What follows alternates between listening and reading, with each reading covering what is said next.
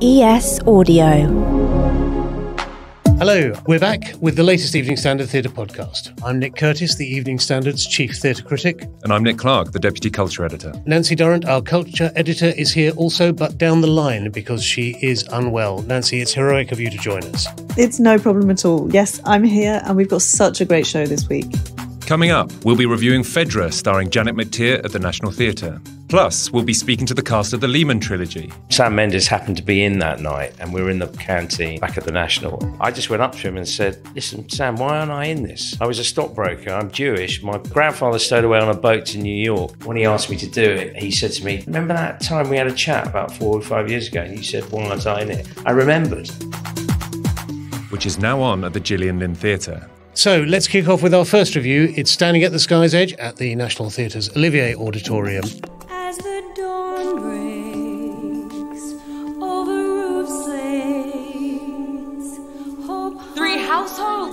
Decades apart, sharing one roof, one hope, to matter to someone. This is a co production with uh, Sheffield Theatres. It was previously done at the Sheffield Crucible Theatre, and uh, Sheffield is really at the heart of of the, the the three stories that it tells.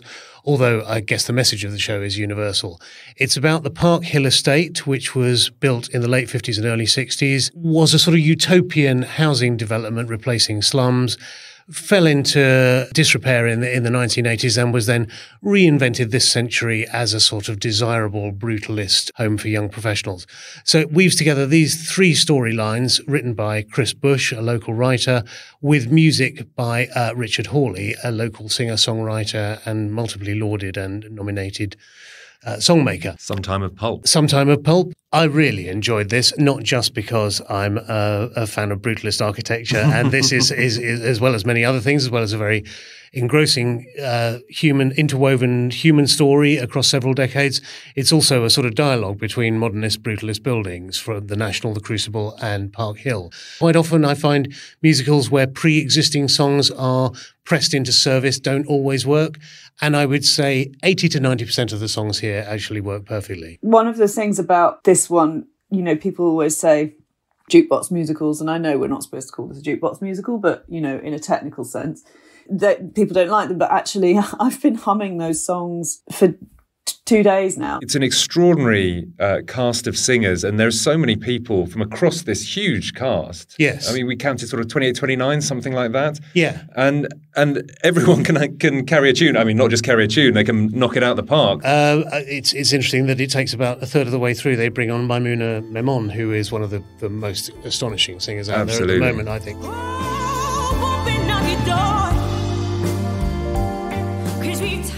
She's got one of the most amazing voices in theatre. Mm. I think. I agree. Yes, she is a singer-songwriter as well as a as well as a performer. But I, I first became aware of when she played um, Mary Magdalene at the Open Air Theatre, and she just blew the entire audience away there and did it again here. I think one of the real standouts in a in a sort of cast of frankly amazing singers, pretty much from start to finish, is Faith Omole's Joy.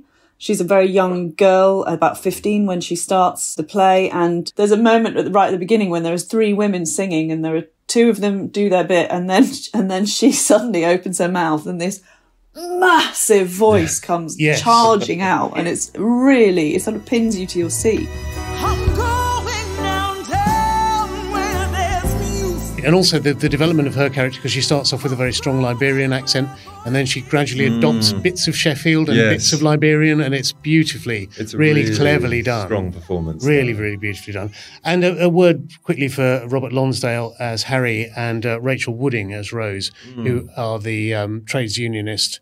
Uh, at the steelworks and and his wife. Th- This is a, a lovely, unsentimental portrait of late 50s, early 60s working class life. She is a, a wonderful sort of pillar of strength. He is very affectionate, quite domineering, but as it turns out, essentially rather weak. He can't cope with the loss, the erosion, gradual erosion Yeah. of his role, which uh, which um, worsens with the deindustrialization of Sheffield. Nancy, did you think the different choreography of the three households on top of each other worked? Was it was it, was it good theatricality to you? It did. I think it's they start out quite um, carefully by giving you the dates. There's a rather sort of nice kind of ingenious effect that they have with kind of clocks that come down and, and tell you what year you're in. And then as soon as you've got used to the characters, they get rid of them, which is exactly the right thing to do because you know who they are and they know what you know when it's happening. And then you can focus on the slow development and revealing of the links between those families.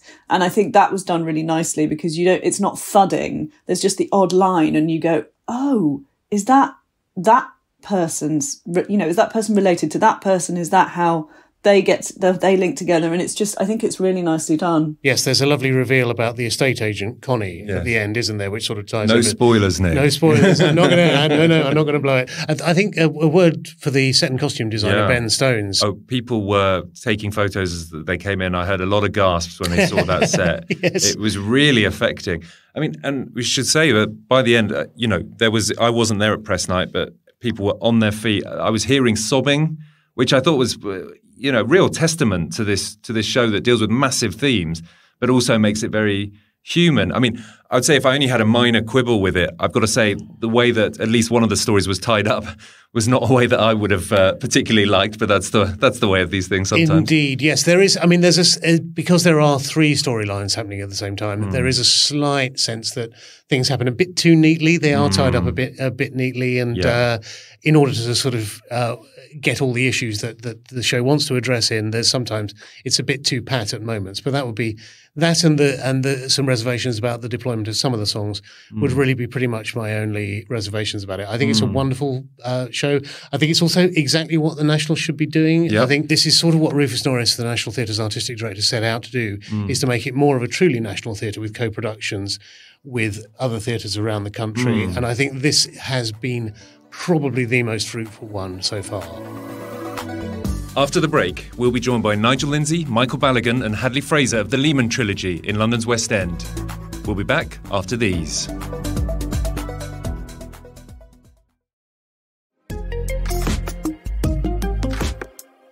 I'm delighted to be here at the Gillian Lynne Theatre with the three stars of the multi award winning play, The Lehman Trilogy, which has recently arrived in the West End. So, welcome to the Evening Standard Theatre podcast, Michael Balogun, Hadley Fraser, and Nigel Lindsay. Thank you.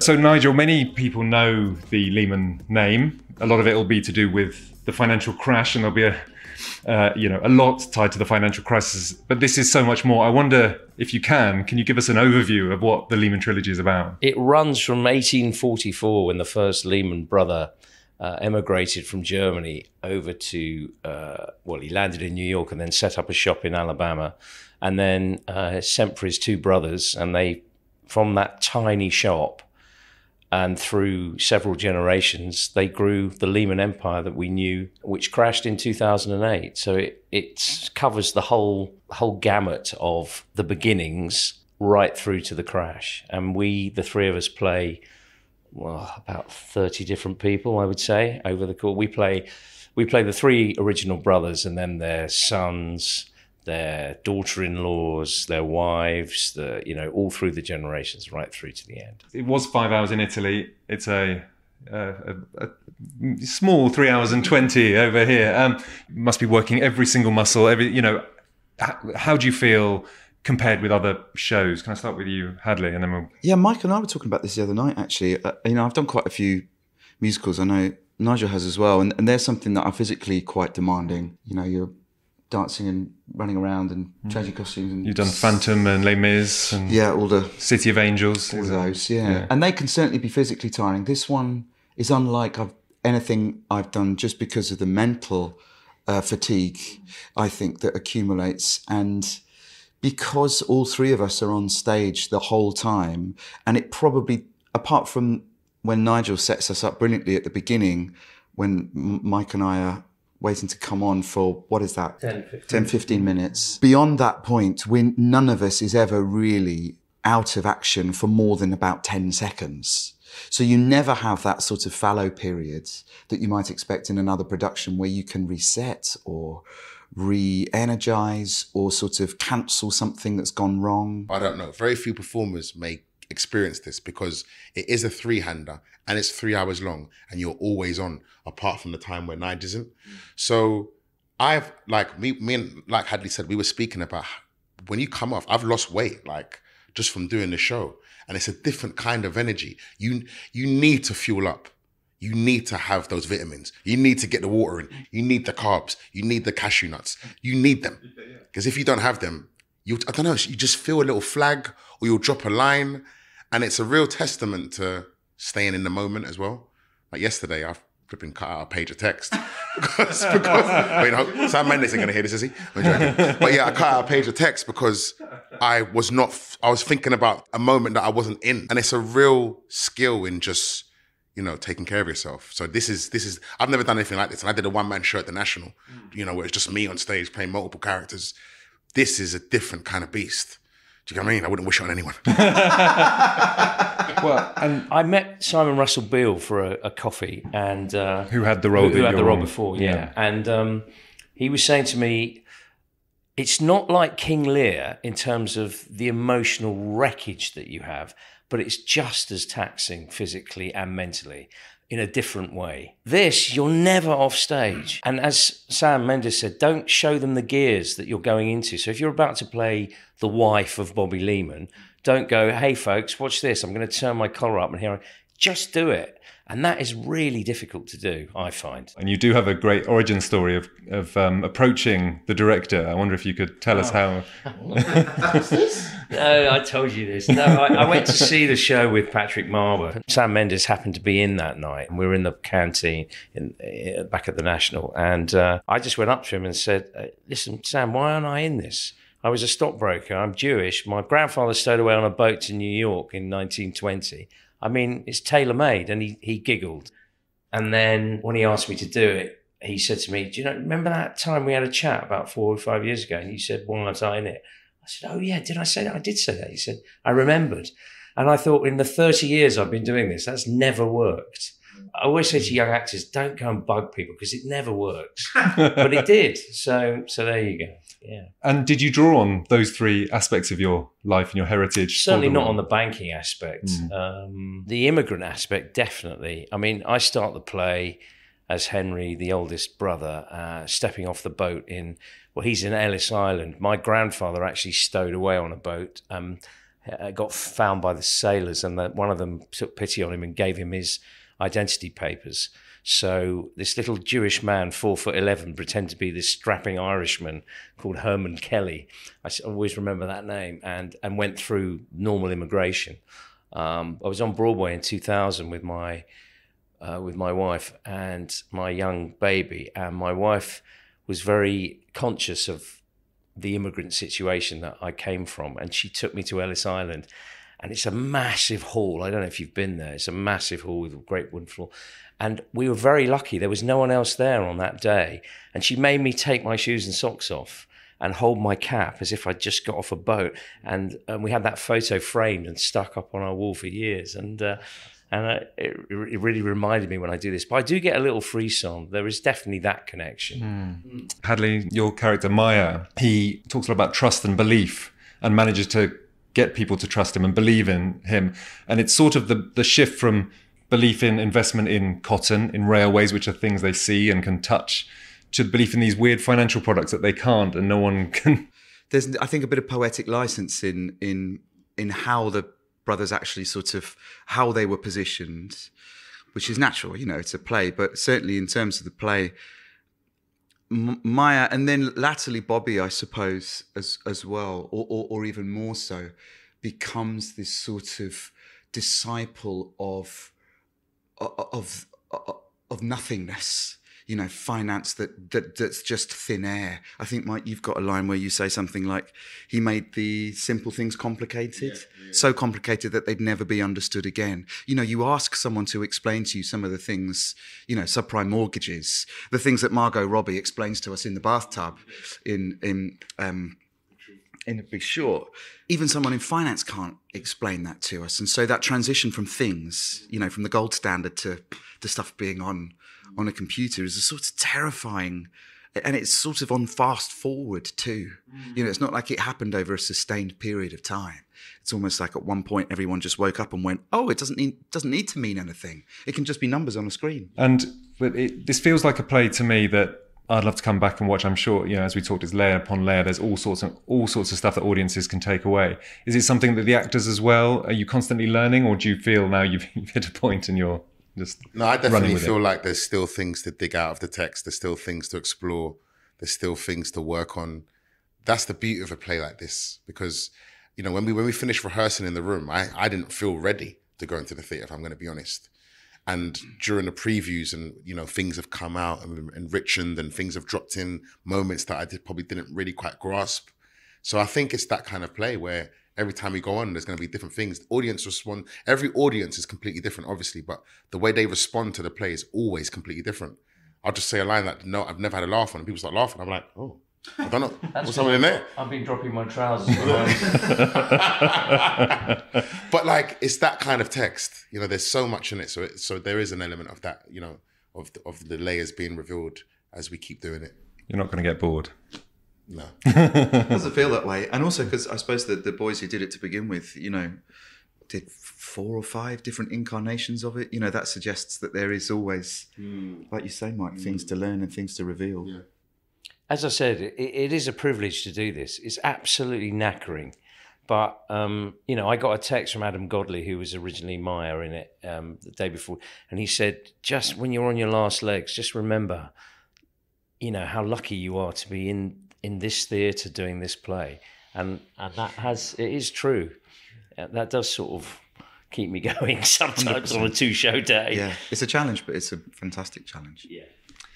Fantastic. Well, it's an extraordinary play. You guys are all absolutely extraordinary in it. Um, thank you for taking the time. And um, yeah, to our listeners, I can't recommend it highly enough. So, um, Michael, Hadley, Nigel, thank you so much for joining the Evening Standard Theatre podcast. Thanks. Thanks very much. Thanks for having us. After the break, Nick and Nancy review Phaedra starring Janet McTeer. If you're enjoying the show and want to hear more, hit follow and rate.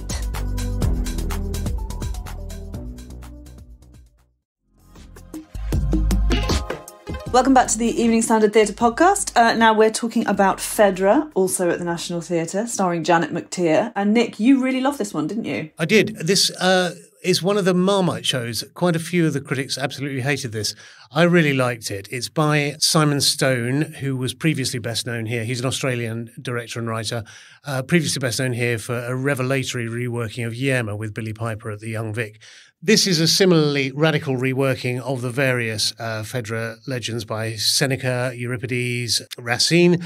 It updates it to the uh, basically what what I suppose one would call um, a contemporary elite, to uh, use a, a fairly loaded term. Here, our Phaedra is called Helen. She's played by Janet McTeer. She's a shadow minister for the environment, I believe. She's incredibly wealthy. She's married to an Iranian expat diplomat played by Paul Chahidi. She suddenly discovers that the son of her Moroccan former lover has turned up on her door with disastrous consequences. I mean, let's talk about the things we both liked about it at first, because I have one very strong reservation, but it is a, an oh. exhilarating show, mm-hmm. and I want to give it some love for that reason. I mean, I think Janet McTeer is magnificent. I agree. That was the word I used in my review. She is. It's it's so nice to have her back on stage, isn't it? She's just riveting. Yeah, I think the last thing I saw her in was um, Dangerous Liaisons at the Donmar, and she just absolutely queened it as Madame de Merteuil. But I just here, I, I, just, I mean, she's just you can't take your eyes off her. But but I loved all the performances actually. I love Paul Chahidi who plays her husband, uh, Hugo. He's such a kind of warm actor, and so when he he's very funny, and then when he does get chilly, you really really Yes. feel it, don't you? He's a lovely actor, uh, sort of unsung, I think. You know, a character performer. Um, TV viewers may know him as the vicar from This England, but he's he's he's a stalwart of the stage, and he is he's superb in this, and absolutely a match for McTeer. Um, it's it's very much an ensemble performance. I think Stone is known for rewriting a lot in rehearsals that actors never know you know what they're going to be given that day, and they are asked to chip in for their characters. And you sense that in the early scenes where everybody's talking over each other. It's a it's a very sort of realistic, in some ways, portrait of what family life is like. That is really clever at the beginning because you do everyone there's this sort of cacophony of people chatting to each other and then but that does sort of drop off after a bit. So it kind of feels it sort of feels brilliant and then and then a little bit like it was a kind of showpiece, you know, that opening scene. Yes. But doesn't make it any less brilliant in its own self, I think. I think you're right. I think it's also probably probably essential. It would probably be unwatchable if there were two plus hours of, of people talking over each other constantly. The fact that it happens a couple of times remind you reminds you sort of that theatre is a distillation of real life, really, uh, and a clarification a lot of the time. And that's what real life is is is more like. Assaad Bouab, um, who Netflix viewers will know from uh, Call My Agent, he is, I think, fantastic as uh, the son of her late Moroccan lover, and you know the young man who throws a major spanner in the works. And he's a political refugee, um, and he sort of treads that line, I think, uh, between kind of vulnerable and dangerous, which injects a real sort of electricity into the production. Yes, that's that's absolutely right. I think um, Nick, you'll be able to tell me probably is this his? I mean, he's been on stage in France for years, but is this his first British production? As far as I know, it's his first British production. He has been in, he was a stage actor before he was a TV actor in France, and he has been in Racine's Phaedra before, so he's got form on uh, transgressive relationships on stage. I don't think we're giving much away if we say that this hinges on a transgressive relationship. Also, I'd just like to put a mention in for Mackenzie Davis, who plays the daughter of McTeer and Chahidi's character um, who is making her stage debut here. She's she's well known to TV and film viewers, Canadian actress. Um, I think she's superb here as Isolde, the daughter. Again, there's a sign in the fact that she's called Isolde. That's yet another. Um, Story of a doomed and dangerous love. Yeah, he does love his doomed Um, ladies, doesn't he? I, I think if you find yourself as a woman in a Simon Stone production, you know it's not going to end well for you. It's true. The thing is, I think it's really worth seeing in many ways. But as you said in your review, you know, it, that it was sort of gobsmackingly audacious to turn the Greek myth of a woman in love with her stepson into a satire on smug London elites while retaining its transgressive, tragic power. It's the latter part of that statement that I don't agree with because I don't think it does retain that tragic power, to be honest. I feel like, I'm going to try not to rant now, but it's not a tragedy. It's a play about an awful person doing awful things. If you look at something like Macbeth or Othello or whatever, you know, the playwright's at pains to show us that that person has a kind of nobility of character from the start, which is undermined but in Macbeth's case, by ambition, in Othello's case, by jealousy. This Phaedra is, and I think, to be honest, I think this is the case in, certainly in the Seneca, I don't know about the others. She's irredeemably awful right from the start. Like she is entitled, oh. she is selfish, but most of all, she's got all the power. She's got power over her husband. She's got power over her children. She's got power over this young man. He's, you know, she, he, he remembers her as this extraordinary kind of angel of sort of sex and death from his youth because uh, his father left the family for her. And also she's a politician and he is a political refugee. She clearly had power over the father, which was a sexual power, had much less to lose than him. Um, and for me, I loved the first half. I loved it. And then by minutes into the second, I just thought there is nothing here that makes me give a damn. I ended up in this sort of really unedifying position of thinking the world would be a much better place without this woman if only she hadn't so comprehensively cocked everything up for everyone else in the meantime. I think that's I think that's absolutely fair. I suppose I agree. I think with the point about tragedy. I suppose my point was about that the the the the nature of the sexual relationships in it still seem shocking. Yeah, sort of. It sort of does. But I mean, I think in a way, making her a politician made it seem a bit less shocking because we're constantly getting, you know, like ridiculous exposes for the last kind of 30 years of politicians doing outrageous things because they think that they can get away with anything. So in, in you know, if she'd been a, I don't know, a sort of humanitarian lawyer or just something else, but being a, being a kind of an opposition politician with a gilded life, it just was like, oh, well, yeah, that's exactly the kind of thing that she would think was perfectly acceptable just because she wants to do it. I still would call it a must see. I think it's it's it's tonally totally dissimilar to anything out there at the moment. Simon Stone is obviously a, a really interesting figure. Um, it's it's. Uh, I wonder how much is down to do with his approach coming from Australian culture. He's given some very interesting interviews about masculinity and why women are important to him, and uh, why women's stories, why women are his heroes. Really, again, you you would look at Janet McTeer's character in that and think, really, is that true? I would definitely say it's worth seeing. Nancy, I think you would disagree. No, no, I think it's worth seeing. It just it, it might it might make you cross. At least it'll get a reaction out of people. That's Phaedra at the National Theatre.